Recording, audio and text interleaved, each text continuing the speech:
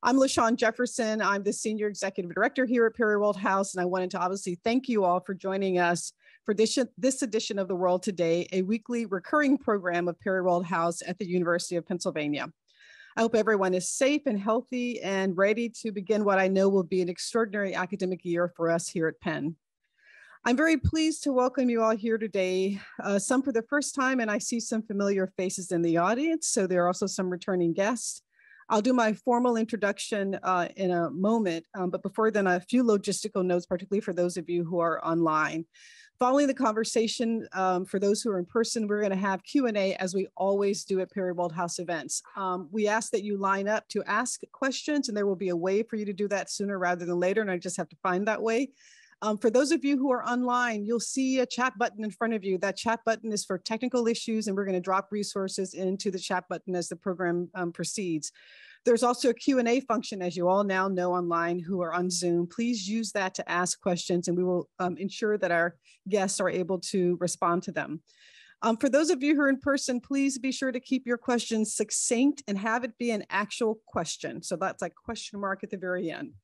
Um, we also do closed captioning and those uh, uh, um, um, instructions are online.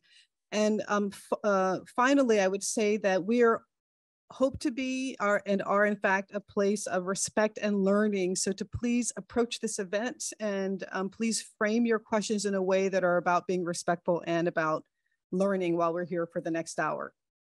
So formally and officially, welcome to today's edition of The World Today on digital assets and the future of global financial stability, which is co-sponsored by the Wharton School.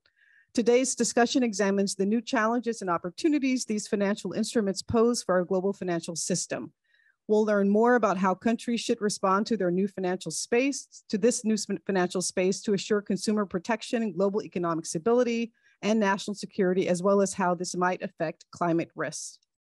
I'm delighted to welcome the United States Commodity Futures Trading Commission Chairman, Russ Behnam, to Perry World House, along with our moderator, Sarah Hammer, the Managing Director of the Stevens Center for Innovation in Finance and Senior Director of the Alternative Investment Program at the Wharton School.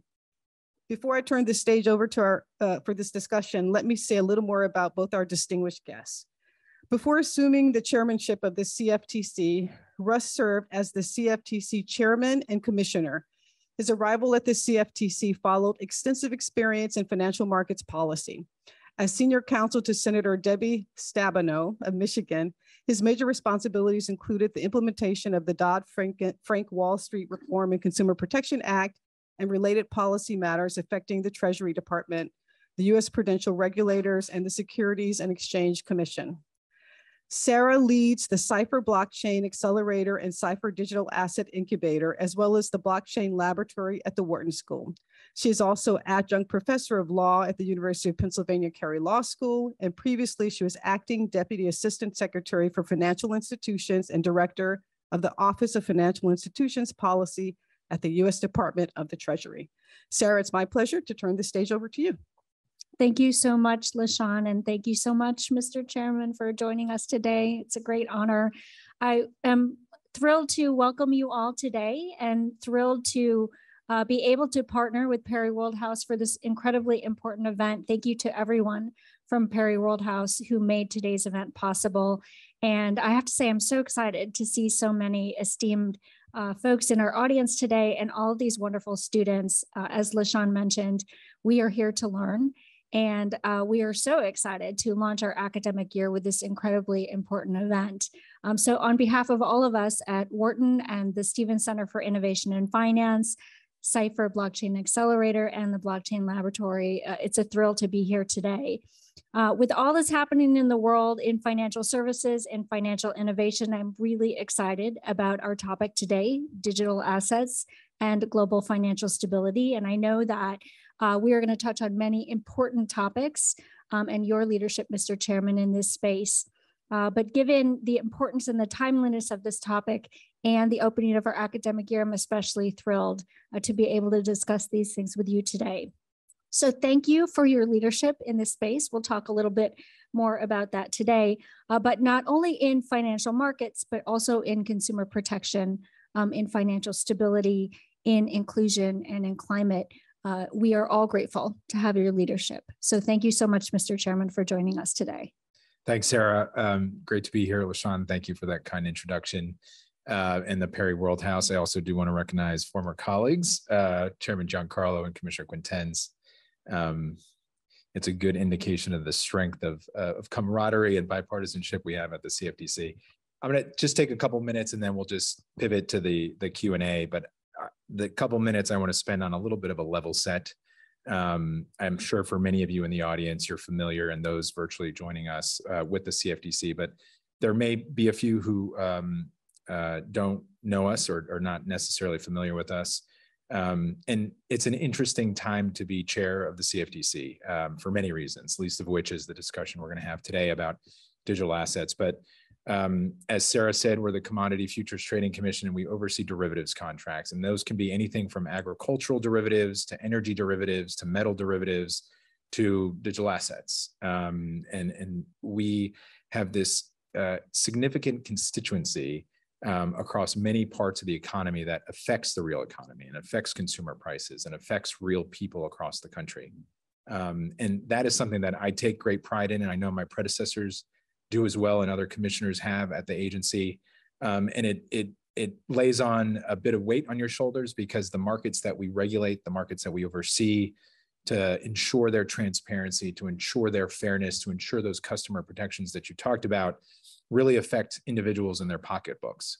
Um, and in these times, and this is where you know I mentioned earlier, in extraordinary times where we're seeing massive disruption in technology uh, and market structure changing, which we see periodically every few decades, but this is certainly one of those inflection points. Um, obviously, with the Russia invasion of Ukraine and agricultural markets and energy markets and even metal markets, the geopolitical landscape changing, not just in Eastern Europe and Russia, but in Asia as well and in the Americas.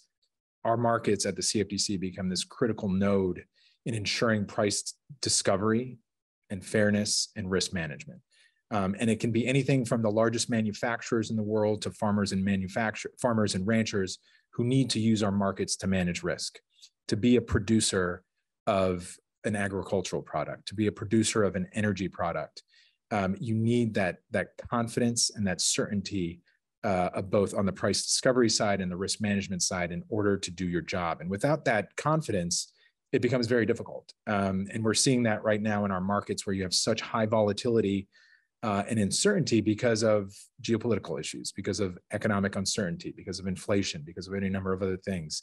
Um, that our markets are becoming challenging to participate in in many respects. And these are the types of things that I have to think about to ensure that markets are fair, they're efficient, uh, and they continue to serve the purpose that Congress intended them to do over 170 years ago. They've certainly evolved um, since they were first uh, developing back in Chicago in the mid 19th century. And now we see a, a, full suite of products, again, from agricultural and energy to financial indices and, and digital assets but the touch points across the real economy um, is remarkable. Um, and it, I think it, it puts uh, a burden on me, one that I, I welcome, but a burden that I, I recognize is extremely important in these times of uncertainty, not only for us here in the US, uh, but other global market participants. So um, we work very closely with our sister agencies, most notably the other market regulator in Washington, the SEC, but we certainly cl work closely with the banking regulators, the prudential regulators, the FDIC, the OCC, the Fed, and others. Um, and it's that teamwork, that that collaboration that we have, which I think ensures um, a strong, resilient financial system, the strongest capital markets, the strongest derivatives markets, and ultimately, I think what makes our country the greatest and our financial system the greatest in the world. Uh, but in these times where we're seeing this technological disruption, which again presents risks, but many, many opportunities, we have to approach it with balance. We have to approach it um, with open eyes and ears. We have to listen. Um, and we have to use history as a compass for what could come in the future. Um, there's certainly a lot of resistance, I think, from some parts of folks in the policy space uh, and across the economy about what this new technology is going to present. Um, what is its purpose and, and where might it lead? Uh, but regardless of that outcome, I think we have to, like we have done in the past collectively, um, think about it, discuss it like we're doing right now at the Perry World House, um, and come up with conclusions that are sensible, that are data driven, so that if there is in fact something there um, we can embrace it, leverage it, and let it organically grow and potentially become a part of our economy, whether in the short term or the long term. And times that I've spent both with my colleagues, you know, going back to 2017, engaging uh, with market participants, with innovators, with investors, uh, with entrepreneurs, you know, it's pretty remarkable to see um, these ideas materialize um, from some very incubational points, even a few years ago, let alone five or 10 years ago, to the point where we are now, where we have incumbent crypto firms buying CFTC registered firms to, you know, gain access and to create products that are listed on our exchange and just the proliferation of interest from both Congress, um, other agencies, international agencies, um, to understand and, and, and appreciate the role of derivatives and ultimately what this technology means for financial markets. So an extremely exciting time, one that again, I'm, I'm very excited to, to be chair of the agency at this moment in time, one that I'm, you know, uh, essentially built off and working off the shoulders of my predecessors, but hopefully going to leave the agency in a, in a much better position as we think about, you know, this technology and what it's going to mean for our country, the financial system and the global economy, quite frankly, for decades to come. Thank you so much, Mr. Chairman. And I, I you mentioned extraordinary times and uh, we certainly feel privileged to be able to discuss those with you today and uh, have that discussion integrate into the work that we're doing here at the University of Pennsylvania. You also mentioned a burden, uh, and I know that we feel grateful to have you in this role to um, assume the leadership of that burden. So I'd like to take a step back uh, in our discussion to start out um, a bit about your background. And you've spent time in many distinguished roles before assuming the chairmanship at the CFTC um, both in roles at the CFTC, in the United States Senate, uh, in New Jersey, in the Office of the Attorney General, and in the private sector. How has your experience shaped your view uh, from where you sit now? Yeah, you know, I often um, think about um, my past, you know, 20 to 30 years and, and how I got here and um, some intentional, some intent, unintentional, some accidental. Um, but uh, I was mentioning earlier, I grew up in in northern New Jersey. Um, practice, you know, went to law school, practiced law. I was an equity trader for um, a, a, bit after college, and then found my way down to Washington and working in the Senate uh, for about seven years after the financial crisis. And um, historical context of the CFTC are, I mentioned 170 years ago, our markets were agricultural based. Uh, we actually were a part of the USDA until about 50 years ago. Um, and part of my responsibility in additional to, in addition to dealing with financial services issue um, was learning about agricultural policy. So kid from Northern New Jersey, um, you know, really didn't know much at all about agricultural policy. I get thrown into working on Capitol Hill, which is an all hands on deck environment. Um, and over the course of the six or seven years, fortunate to work for Senator Stabenow, traveling the country, talking to farmers and ranchers, thinking about farm policy, and really appreciating how food gets to our table, right? And the challenges that growers, producers have, the inputs, which we're seeing now with fertilizer prices, um, machinery, obviously the cost of financing goods. And I say all that because it gave me different perspective, right? So I had the benefit of working at the Attorney General's office as an investigator, um, protecting New Jersey consumers. I had the benefit of working in the Senate and working on ag policy and and financial uh, regulatory policy after the financial crisis. I worked on a trading desk and you know vividly remember almost at you know 22 years ago 21 years ago to the day being on a trading desk, um, you know, on on September 17th, the the first day that markets were open after 9/11, or when Alan, then Chairman Alan Greenspan cut rates unexpectedly, and seeing how markets react. All of these data points and all of these experiences, you know, influence the way you think. But ultimately, as I am now in this role um, in public service and have been for, you know, just about a decade over over a decade now, I've always thought the number one attribute, the number one um, role that a public service individual has is listening. Um, we all have natural biases. We all have learned biases from where we're from and what we learned from what we've done professionally. But we have this responsibility in, in the public service space to listen because we all have different vested interests, whether it's business or personal.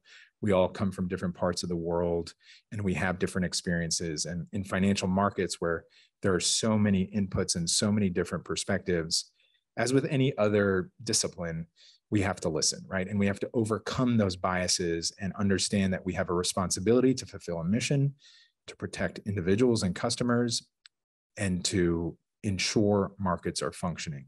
So I have to overcome that and I have to listen to everyone who, again, can be the farmer and rancher from Montana, it could be the large manufacturer from Michigan, or it could be the financial institution from Manhattan.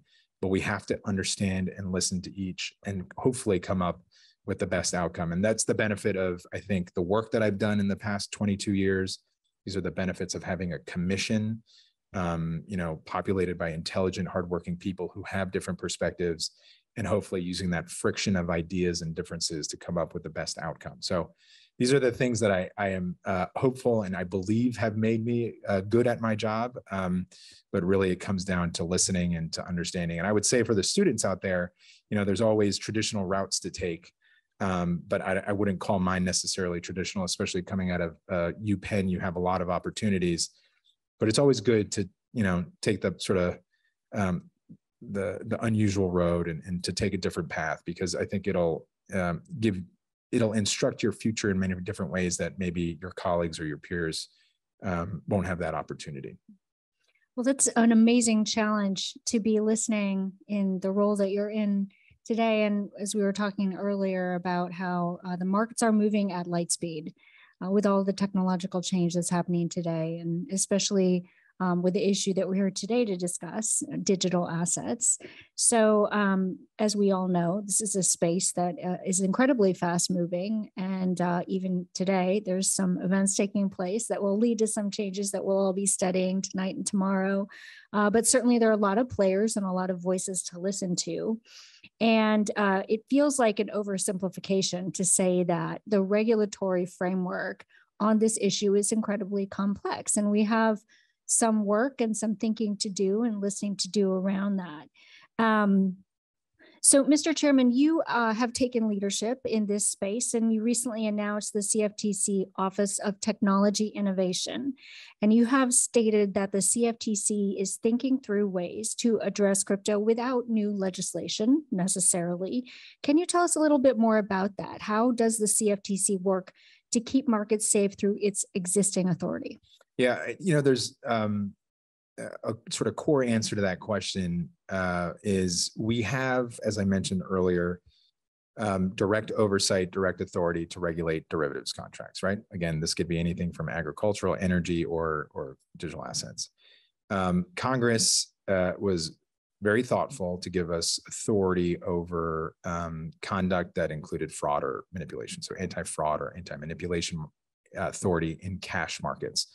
So you can imagine if, and I'll just use a very basic example, um, uh, two counterparties, you know, selling grain to each other, wheat, um, physical wheat. We do not regulate that contract, that exchange uh, between those two counterparties. That contract, however large or small, the pricing of that will be reflected in the futures price, which is what we do directly oversee.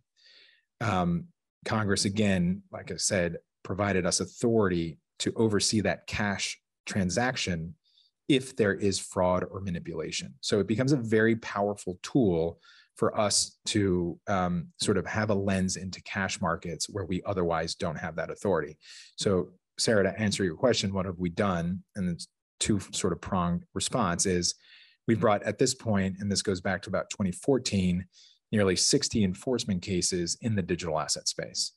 Um, and these have been largely through this anti fraud and anti manipulation authority because we don't have authority in cash markets. But um, we've gotten whistleblower tips um, or information from outsiders saying, you know, you should check this issue out, you should check this individual out or this organization. A lot of this fraud and manipulation is very sort of stock Ponzi schemes, pump and dumps, um, you know, uh, disruptive trading practices, things we typically see in traditional financial markets. uh, but cases that we've brought. And I think we've sent a very clear message to the public that you know we're a very strong cop on the beat. Um, we've also sent a very clear message to this community of, of individuals who feels it's okay to commit fraud and manipulation, take advantage of vulnerable communities and individuals, and bring these cases. The other thing that we've done, um, and you mentioned the Office of Technology Innovation, um, I, I, just reorganized uh, a, an office um, that Chairman Giancarlo started a few years ago, Lab CFTC. And Lab CFTC was an a tremendous idea. It served great purpose for the agency. It actually, in my view, sort of launched the agency globally uh, as a leader in this space uh, because we did a lot of wonderful things. But over the past few years, I've seen this evolution where lab, you know, what are the words you think of? You think about incubator, entrepreneur, startup. These are the types of things I think of when you, th- you think of a lab. Um, we're past that point. You know, that was the right thing back in 2015, 16, 17, and 18. But we are now seeing this in real time. It is it is real, and we don't I don't think have the the benefit of of just sort of having a discussion within a sandbox uh, environment. Um, whether it's the incumbent or the native crypto firms buying CFTC licensed firms or new products, new innovation, uh, just disruption happening, I felt like we needed to take it to the next step because our policy divisions are actually dealing with these policy questions right now.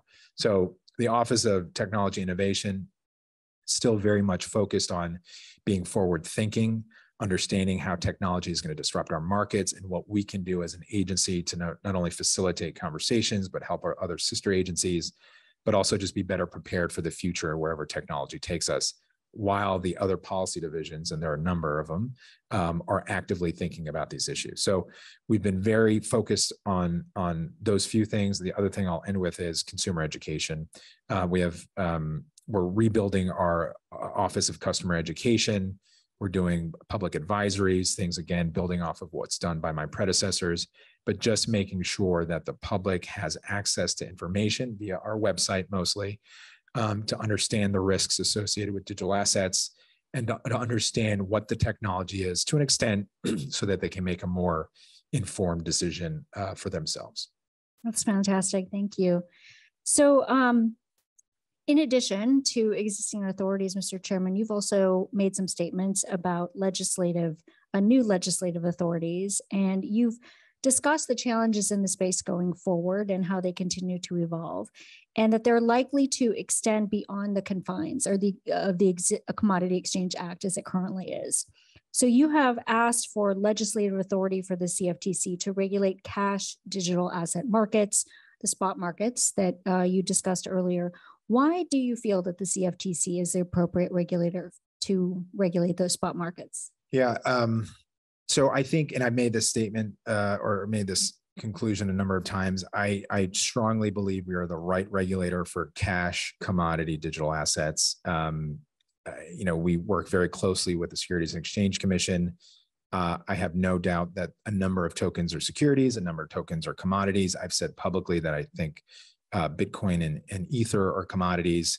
There are several other commodity tokens. Um, with our expertise in the commodity space, um, I think it's incumbent that, you know, as a country, and, and this has been my message to Congress as they think about this, that yet let's use this infrastructure that we have, this regulatory infrastructure, to leverage this expertise, to leverage the personnel we have at the agency um, to oversee this emerging market. Um, it is it's a challenging issue where we are certainly, I think, um, becoming successful in terms of sending that message out it's not it's not an insignificant um, change for us. I, I, I understand that and I reflect on that. It's what I said, and Sarah, you mentioned this earlier. Um, for us to go to be a cash market regulator would be a significant change, but one that I am confident we we can handle quite well given the personnel we have, um, and with some additional resources and, and new hires, we can manage it. I would say that what it comes down to from a policy perspective is how do we want to treat these assets? Um, and I'll start in using the securities law as an example. The securities law, to put it as, as sort of high level as possible, was built about bridging gaps between issuers of securities and investors. Um, it's your large corporate who has a centralized management team that has audited financial statements, that has risk factors, management discussion and analysis, has forecasting for the future, has physical locations, all these uh, characteristics of a centralized entity that's controlled by a, a handful of centralized individuals from the CEO down to the CFO, the GC, and everyone in between. You don't have that need from a regulatory perspective when it comes to commodities. Um, I used this example a couple times. I think going back now, probably three or four months, um, I think the Indian prime minister placed an embargo on wheat exports out of India, and this was a few months after the invasion of of Ukraine. And you know, you get the sort of geopolitical reason to protect you know wheat markets and, and price stability within the sovereign state.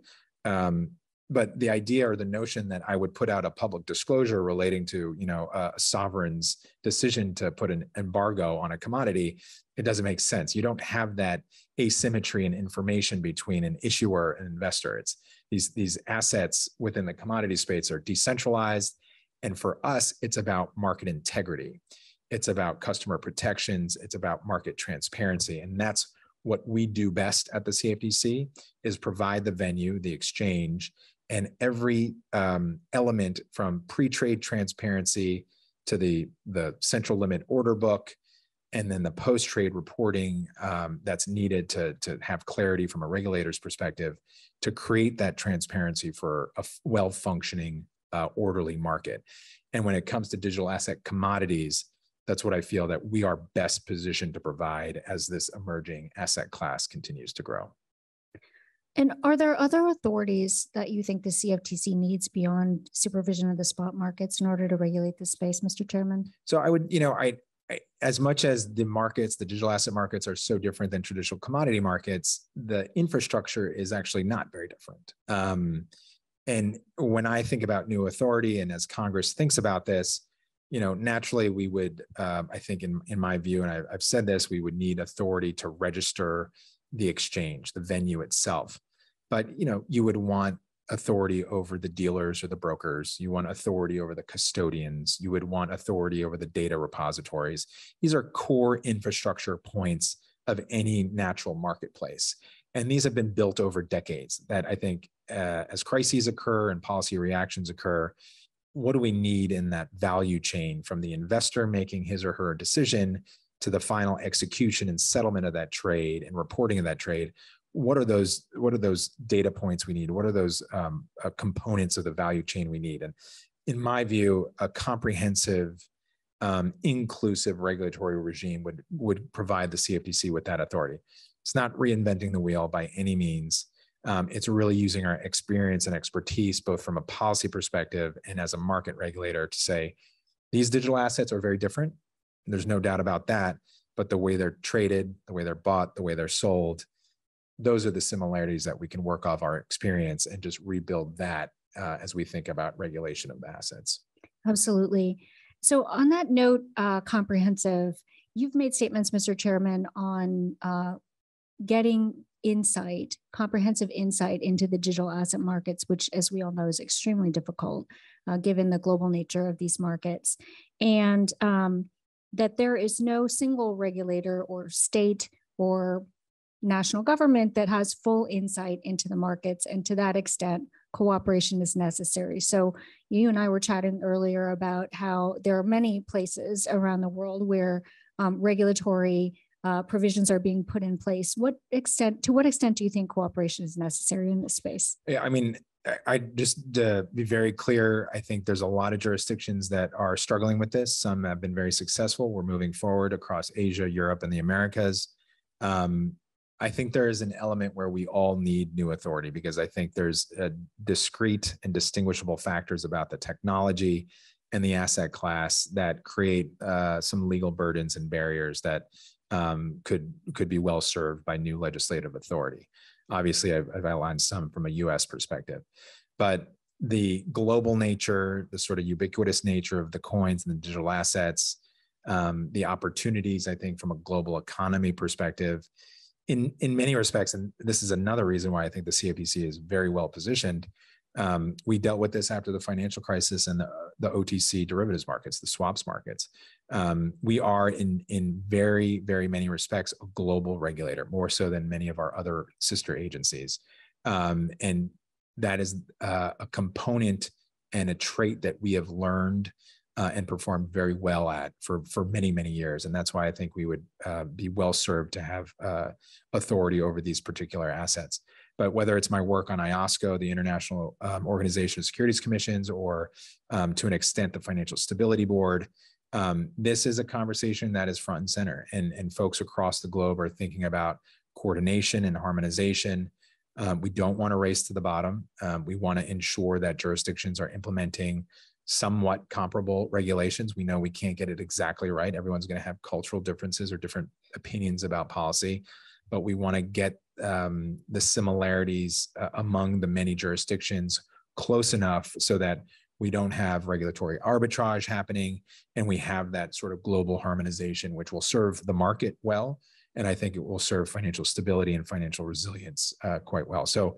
an extremely important issue, and I would say one that regulators across the globe um, are not taking lightly. Um, we're working towards it. It is hard.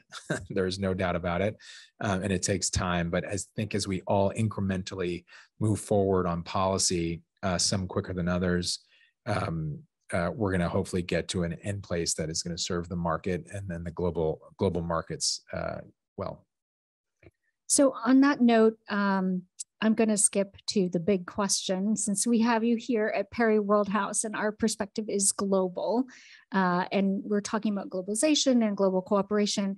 Uh, so, while we have you here, Mr. Chairman, we, we could not help but ask you the question uh, What is your view on whether digital assets are a threat to global financial stability? And I know that's a, of an oversimplified question, but we, would love to hear your thoughts. Yeah, I mean, I uh, I think about it from a very uh, quantitative standpoint at this point, um, because so many of our markets can be measured in size, whether it's the derivatives markets and trillions of dollars in notional value, or securities markets and trillions of dollars of, um, you know, securities value. Uh, but right now, a number that I'm sure many of you are familiar with, market capitalization of digital assets, um, just about a year ago, 10 months ago, was close to $3 trillion. Um, this was uh, correlated with Bitcoin probably in the high 60,000 range. Um, now, and I haven't checked the price lately, but in the 20,000, low 20,000 range. Um, and with a pretty tight correlation between BTC and the other coins, you're, seeing probably close to a trillion dollars. So um, significant uh, loss in value. But I said this, I think, in November when I was testifying in the Senate um, given the relative size of other markets, given historical perspective of 2008 and the financial crisis, what we experienced in 2020 with demand destruction across the commodity complex because of COVID, um, I don't see a market that's valued at a trillion dollars um, having a financial stability impact.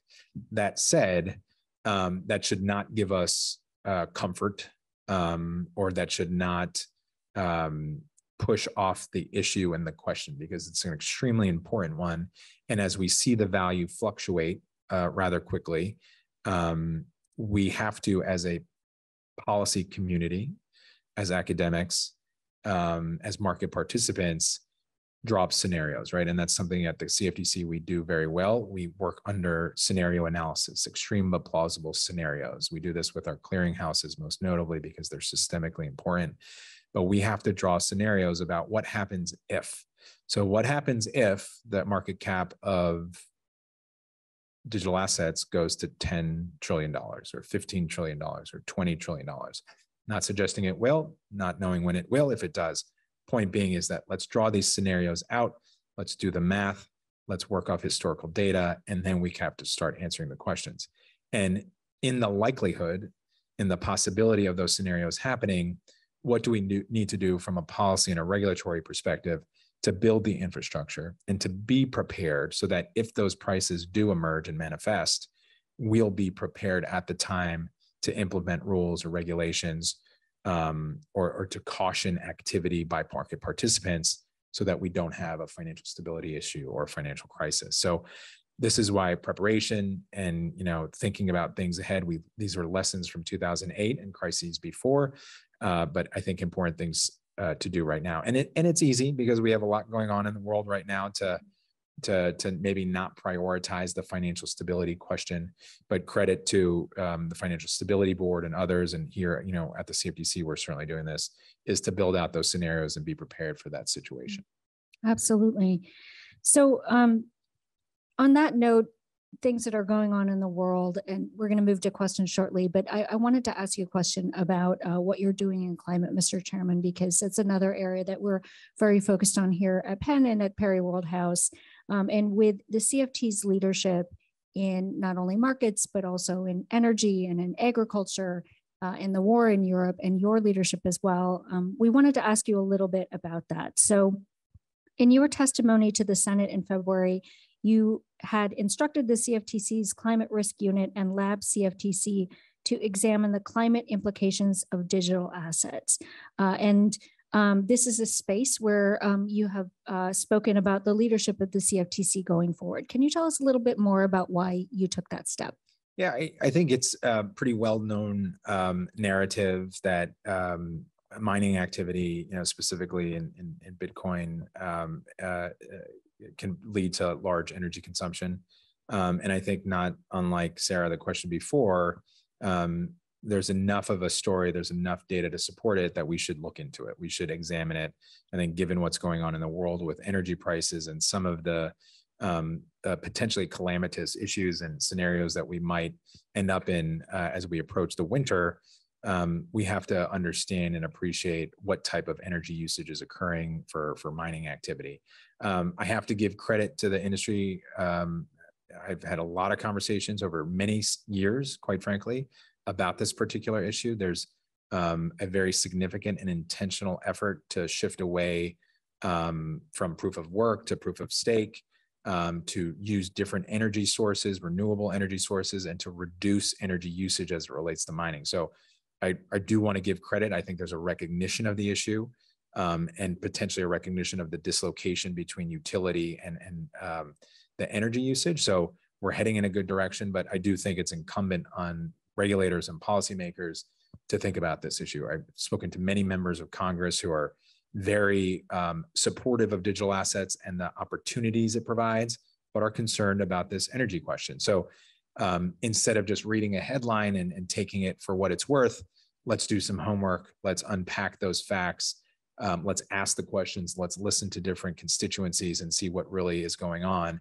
Um, and if that disproportionality does exist, what can we do to provide um, information or disclosures to investors or participants to say, what can we do to change economic incentives and economic behavior?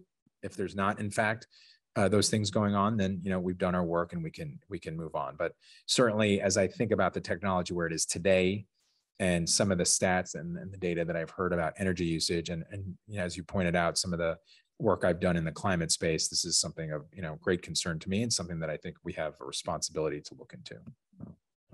Absolutely. So I would like to open it up for a few questions. And uh, we have questions both on Zoom and in person, it, it, I would like to invite the students to ask some questions. If you wouldn't mind standing up and going to the microphone. There's a microphone right here.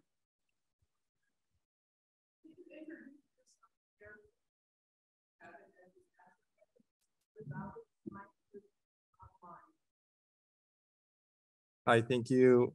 Thank you so much for coming. Uh, my name is Raymond. I study international relations the College of Arts and Sciences. Um, so you mentioned that you believe CFTC is the right body to regulate digital assets. I suspect that there are many similarities between Bitcoin Ether and maybe other digital assets with commodities. Um, could you expand on how digital assets might be different um, from commodities and the necessary regulatory adjustments that would need to be made? Yeah, um, thanks. It's a good, good question. It's a good question. I mean, you know, I think about, um, you know, we have cash settled contracts, uh, certainly, and mostly in the financial space. But some of the most notable differences, you know, with, are with our physical, physically settled contracts, and this really goes back to the history of the the agency and what we've um, historically regulated. Uh, again, whether it's agricultural products or energy contracts, you talk about delivery locations, contract settlement specifications around the financial asset itself. I mean, these are these are the types of things that we're going to need to think about as we transition away from derivatives and futures and we settle on on on this cash market. But the other element of it is, you know, this is going to be new territory for us. We we have not historically regulated a cash market. Um, so we're going to have to focus on that market infrastructure I talked about um, and providing that transparency around markets, but making sure that we have the pre-trade transparency, the execution of the transaction, and the settlement. Now, digital assets create a whole slew of different questions that we're going to have to answer about, you know, ledgers and blockchains and how you actually uh, transmit or or send the Bitcoin or the Ether or the other commodity from owner from buyer to seller, seller to buyer.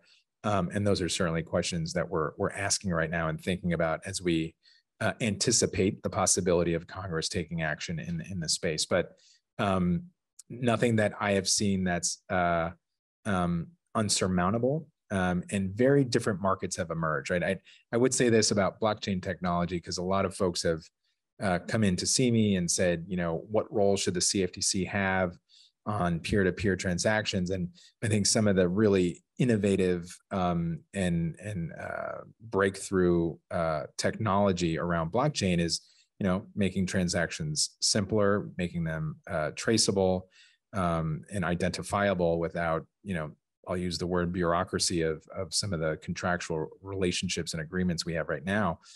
Um, and that peer-to-peer notion the idea that we can just transact directly in a disintermediated way without an intermediated uh, in, institution whether it's in a financial transaction or a real estate transaction or anything in between that's not our purview right? That's not what we do. That's not what i think we should do. But um, some of the traditional marketplaces which i know you all know the names uh, that have uh, emerged in the past five to ten years and have um, rather large anchors as as exchange platforms these entities are performing the functions that we know well that our regulated exchanges perform right now and that's the space where i think you have customer signing on to an account to buy or sell a digital commodity that individual as a customer should have the rights and the transparency that he or she uh, is afforded in traditional financial markets, whether it's securities or commodities. Hello, my name is Sean Bray. I am a uh, sophomore here at UPenn, um, and I'm also a native son of New Jersey.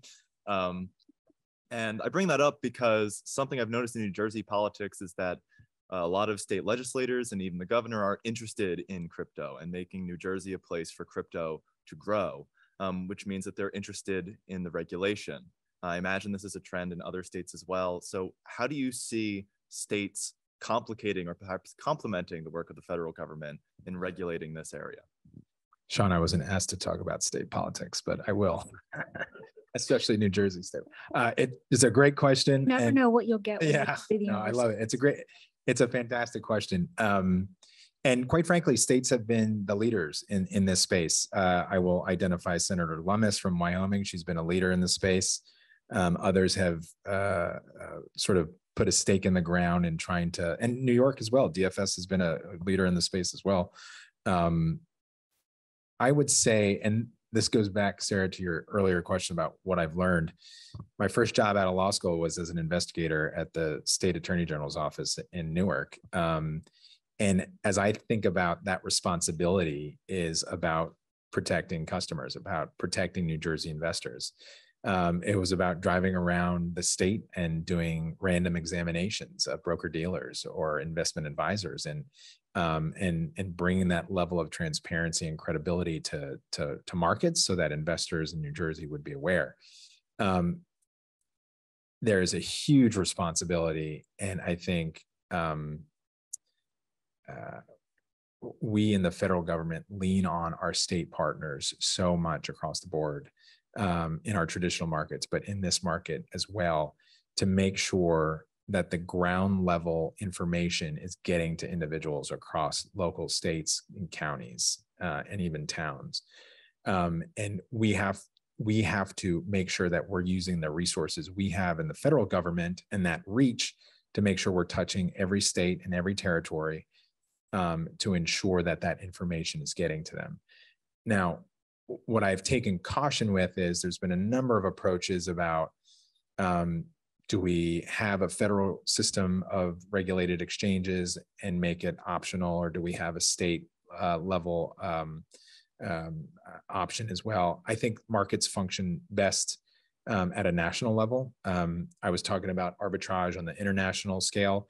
I don't think we want arbitrage on a state by state scale. So it's a balance between leveraging the expertise um, and the power of the, the sort of union, so to speak, in the federal government in providing national markets, national transparency, mm-hmm. but really using state regulators, state security regulators across all states and territories to leverage those relationships. And that was what I found the most empowering and essential as a state regulator was being on the ground and being and having that reach to local communities. And as you know there's a lot of towns in new jersey right? And like getting out into each individual town and talking to a treasurer in the town or talking to individuals doing a town hall in the mayor's office because as i've said earlier not unlike any other financial uh, asset class individuals will prey on the most vulnerable um, and the most in need individuals. And that has been the case. And you can look at our, our list of enforcement cases, and it's the same thing that we've seen historically at the CFTC. So um, I think in my mind, it's working on customer education, consumer education, leveraging that investigative and enforcement authority that state regulators have, specifically at the attorney general's offices, um, and using that network to make sure that we can root out fraud, root out um, manipulation and get you know be the cop on the beat on the national level. But i will say at the end it's important if we're going to see these markets emerge and grow and be successful um, a national level market infrastructure is, is is best suited in my view. But great question. Thanks. Thank you for that question. Thank you very much. Um, I really enjoyed how you talked about listening first. Um, I was very impressed with that. My name is Patrick Ledoit. Um, I'm a freshman at Wharton, and I had a question more at a higher level how you see cryptocurrency shifting. Uh, part of the core identity of cryptocurrencies has been this push on privacy and uh, this decentralization to allow for this privacy to happen. And as a regulator yourself or chairman, um, do you see that this privacy is slowly going to fade away as we try to push for more transparency and more anti-fraud, uh, banning accounts uh, from banks uh, for users uh, who are trying to set up marketplaces which don't have know your customer policies. Uh, do you feel the regulation is really going to come down on the anti-fraud and hence the reduction in privacy, which has been the core identity, I think. Yeah, I, thanks, Patrick. It's a good question. Um, this kind of goes to my point, uh, I think, towards the end of our, our Q and A, Sarah, about um, what our role is as a regulator, right? And it's that that that analogy I used of you know a blockchain peer-to-peer transaction versus uh, a marketplace that facilitates the purchase and sale of a digital asset.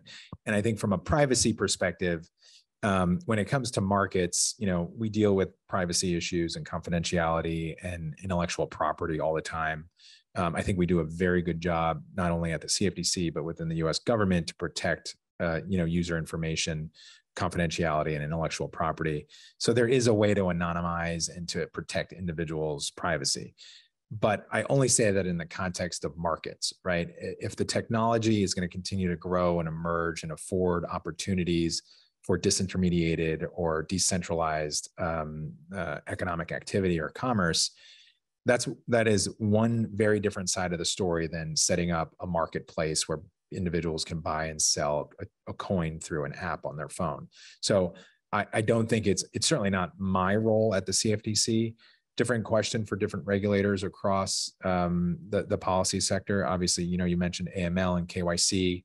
Um, a lot of work is being done by OFAC and FinCEN at the Treasury Department. Mm. Um, so I think there's a balance um, as we see this technology grow and emerge to to protect the privacy, to sort of preserve some of the initial um, attributes that I think uh, the entrepreneurs and innovators have found most beneficial to the technology.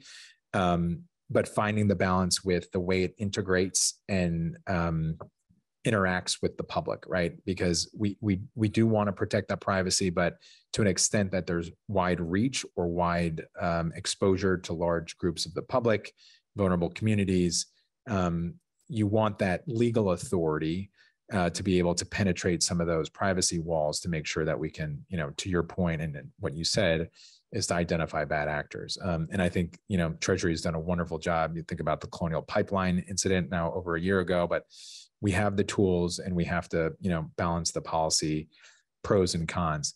It is an unresolved issue, um, and it's a it's a great area of study and discipline, I think, uh, and one that will continually evolve. But I do think that, uh, like other things, if we if we listen, we can find a right balance that you know allows the technology to emerge and and sort of uh, let some of the the attributes blossom, but also preserve those uh, legal rights and legal accountability uh, elements of our judicial system, which you know has made our economy, our country, and our financial markets the greatest in the world. Thank you very much. Hi, Mr. Chairman. Thank you so much for taking the time to share a little bit about how the CFTC thinks. Um, something I was really curious about was earlier this year, I think y'all approved the first event-based um, with Kalshi. I was just really curious what variables you consider when deciding whether to list or allow other exchanges to list novel types of derivatives or financial instruments. Yeah, um, another good question, one that I wasn't expecting to answer, but that's great. Um, I would say I, will I'll tell you when I I first met that entity, um, and kudos to the the founders. They're very smart young individuals, um, and I remember, and this goes back to 2018, maybe 2019. Um, and the the premise of the meeting was, you know, going back to what I said at the very top of our discussion, our markets were founded um, by agricultural producers, right? Agriculture was the engine of the American economy in the mid 19th century. Certainly evolved during the Industrial uh, Revolution at the end of the century, and then continued to evolve into telecommunications and electronics and um, manufacturing, and then obviously technology towards the end of the 20th century. So, why should we limit the scope of um, risk management tools to uh, a limited set of commodities that is largely based on historical sort of legacy um, components of our economy, which has grown and evolved. Now, the market's evolved. I don't want to suggest that the derivatives markets hasn't innovated and evolved. You know, we saw the largest sort of splash, I would say, in the 70s when the, the CFTC broke off a USDA with currencies and, and financial indices and rates, um, and then swaps eventually. But um, it is something that I think resonates in my mind and sticks in my mind. I, I'm not suggesting that that means it's a green light to just list whatever contract you have. Um, but I am open to the idea of um, contracts that have uh, a different um, uh, characteristic than traditional commodities. So we're working with you know registrants and, and others are are entering this market. I think mark, this is a classic example of market disruption in technology where we all have phones and we can just download an app and participate in markets, right? So much has changed in the past couple years. Whereas 10 or 20 years ago, you had to call a broker and there were barriers along the way, right? Pros and cons to both. But um, I think it's important as regulators, without drawing a conclusion or predetermining a conclusion, that we remain open minded to the idea of new listed contracts or new commodities being risk management tools for different components uh, of the economy, whether it's, you know, what we saw in 2020 with the pandemic and what risk that poses for a large restaurant entity, large healthcare provider, um, or a large manufacturer or consumers as well. So, very, very tough policy questions and legal questions, things we're going through right now.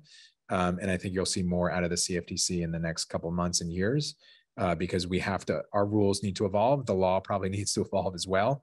Um, but I, you know, if nothing else, I think it's great to see young innovators and entrepreneurs think about a new generation of risk management tools because I think it's important that we do that as well.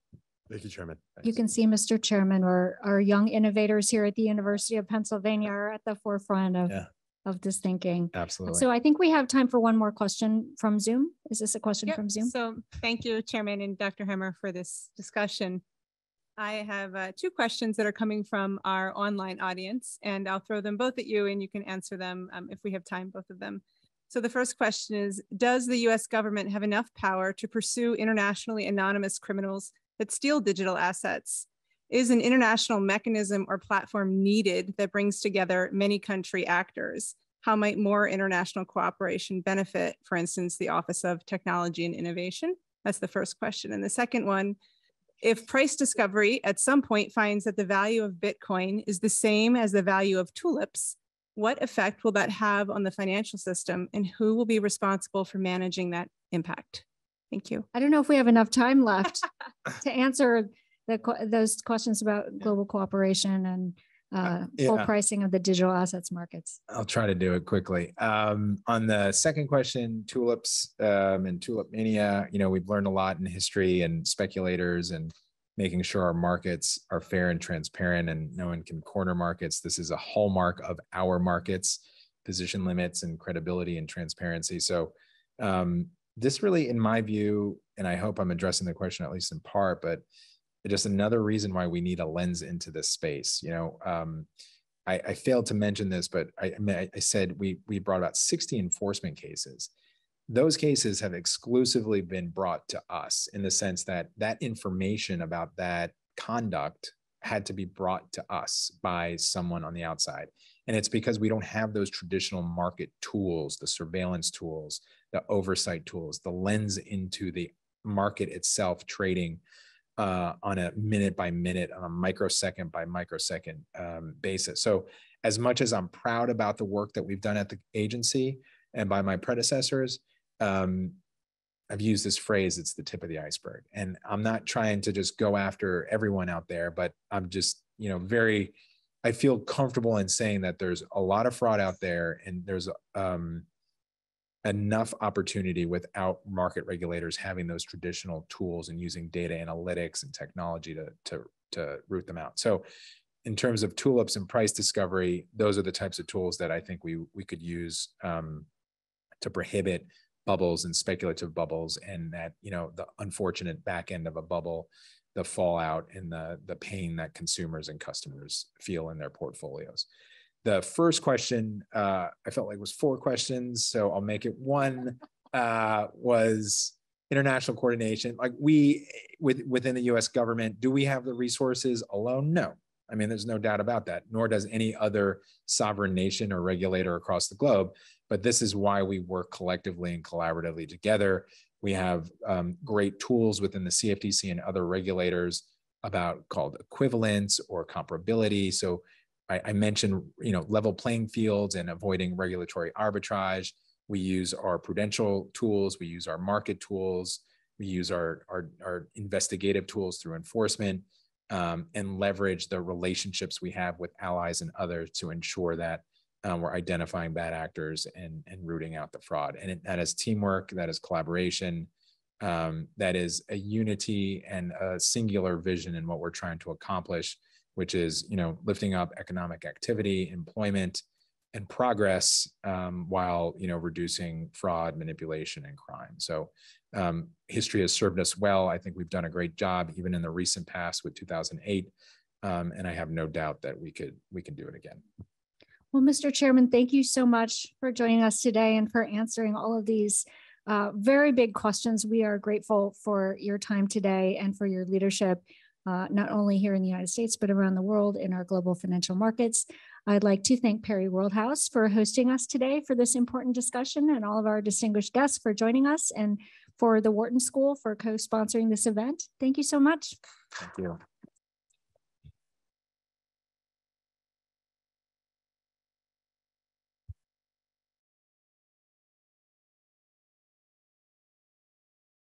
We might just, can, is this working? Can, can you all hear me? We might just never let you two go. Oh, Yeah, another hour of programming. So obvi- obviously, a deep, tremendous thanks um, from Perry World House for such an, an extraordinarily rich um, and informed discussion that was rooted in listening and in learning. And there were many, many points um, of uh, that we can take away, but one of them really includes trade-offs and balances between what your office is trying to do, the need for evolving um, risk management tools for you know commodity for new commodities and future commodities and the need for protection of people. Um, so there are many opportunities ahead for you all to come to this forum and to learn and to be a part of discussions just like this one. And I wanted to let you all know um, of a couple of opportunities ahead of you and urge those of you who are online as well as those of you who are in the audience to go online and to sign up for them. So next Tuesday in the same space, uh, we will be having our Global Order Colloquium that um, Tom, can you stand up? Everyone can't see you online, but they will see you here. Uh, our program manager, Tom Shattuck, uh, for our Global Order theme is organizing um, two days of exciting programming on a fracturing world, the future of globalization. This is a part of future, the future of globalization and a part of the fracturing world. So on Tuesday, September the 13th from four to five, please join us to hear from the former Prime Minister of Australia, Malcolm Turnbull, and Penn's Michael E. Mann uh, to discuss how to make progress on climate change by tackling rampant disinformation and moving governments toward effective action. Um, our new president, Liz Magill, will be opening up that program, and you are all welcome once you RSVP. On Wednesday, we'll be joined uh, uh, by three ambassadors from Uruguay, Singapore, and the African Union to discuss how to navigate a fracturing economic order.